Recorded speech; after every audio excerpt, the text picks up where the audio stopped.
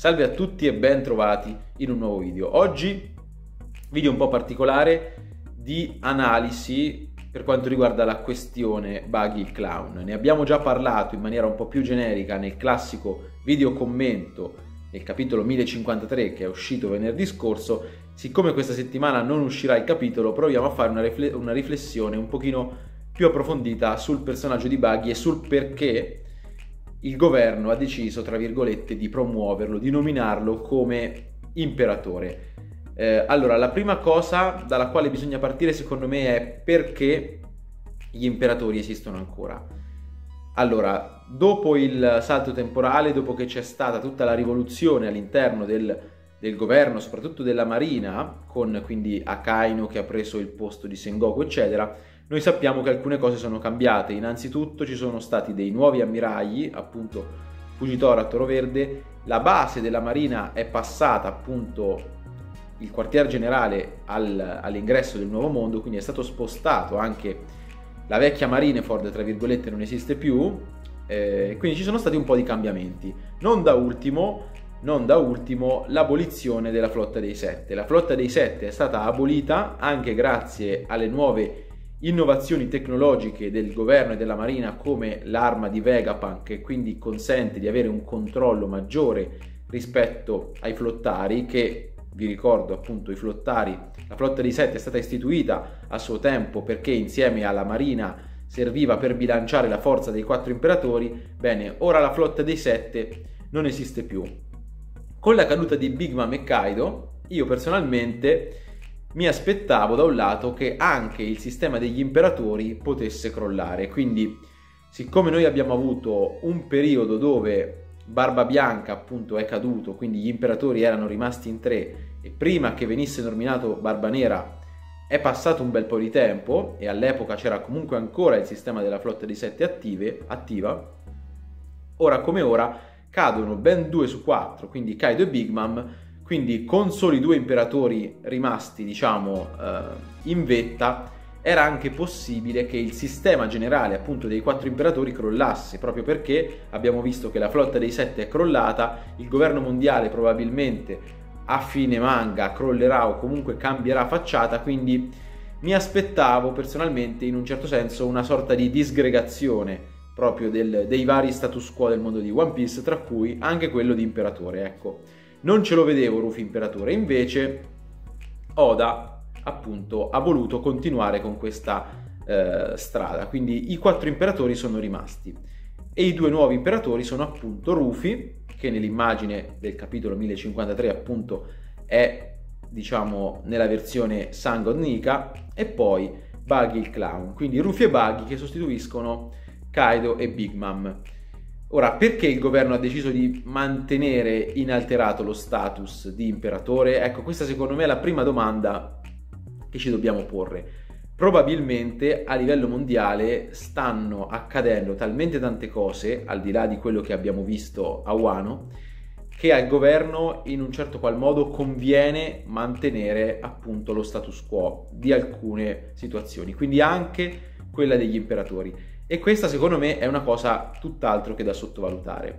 Per quanto riguarda la figura di Buggy, eh, come abbiamo visto appunto nel corso della storia, lui ha un percorso di vita e di carriera, diciamo così, piratesca che per certi versi è parallela a quella appunto di Rufy e anche di Blackbird in un certo senso, di Barba Nera. Cioè Buggy comincia da zero, dall'essere un pirata, diciamo, semi sconosciuto del mare orientale e la sua scalata prosegue quindi fino a diventare flottaro, flotta dei sette e poi ora imperatore.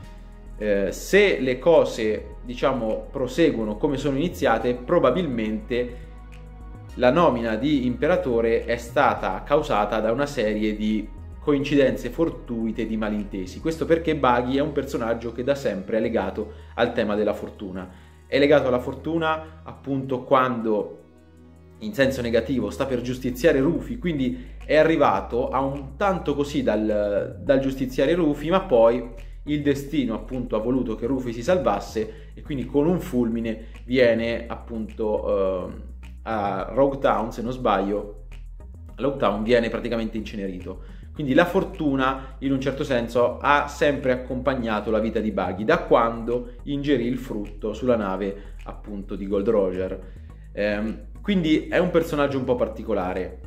È probabile che se la sua evoluzione, diciamo, è costante con quella che ha avuto con l'ingresso nella flotta dei sette, il suo ingresso tra gli imperatori sia stato causato probabilmente anche da cause fortuite. L'ultima volta che vediamo Buggy, infatti, è nella sua isola, nell'isola di Fanfaron, insieme praticamente alla sua flotta. Qui parliamo già di un Buggy che è nella flotta dei sette.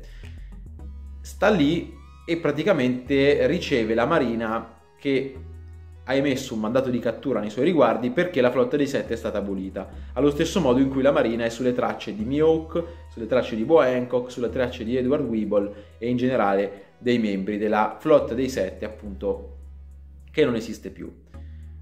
La prima cosa che viene in mente è quindi il pensiero che Buggy possa essere stato l'unico, magari, l'unico flottaro in grado di scappare alle grinfie della marina.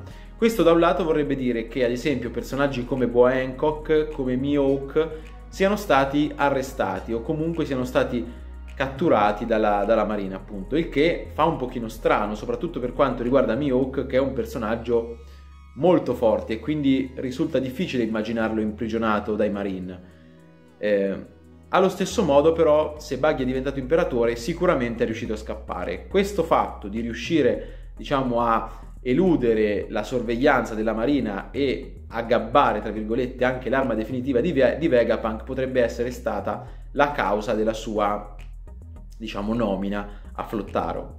Ci sono poi delle teorie che vorrebbero appunto, eh, siccome la potenza di Buggy si basa molto anche sulla sua flotta, vorrebbero eh, far intendere che appunto gli altri membri della flotta dei sette si siano uniti a Buggy e siano entrati nella sua ciurma, tra virgolette. Però anche qui, sinceramente, a me sembra difficile immaginare che personaggi come Mihawk o come Bo Hancock possano essersi uniti a Buggy.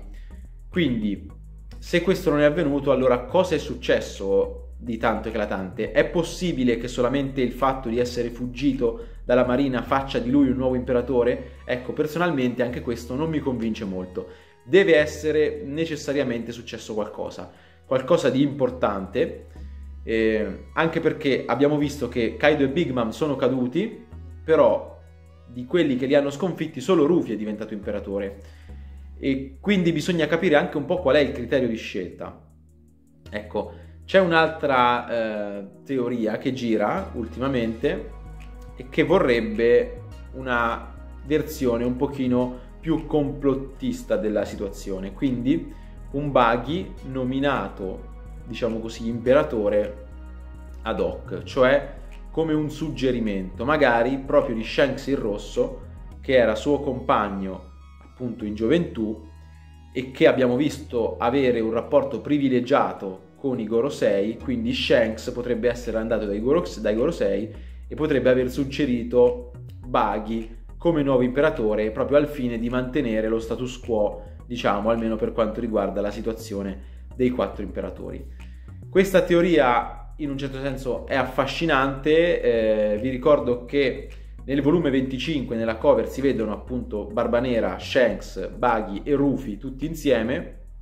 E non so se Oda avesse veramente già all'epoca pensato a questi quattro come nuovi imperatori, ma sarebbe geniale se fosse così.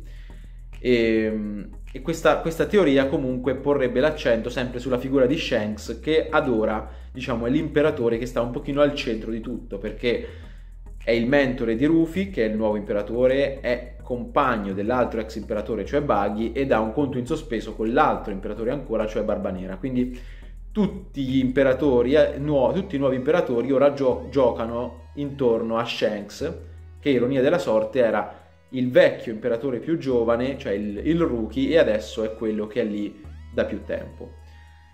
Per quanto riguarda Buggy, però, eh, la situazione appunto è abbastanza nebulosa ancora, ecco.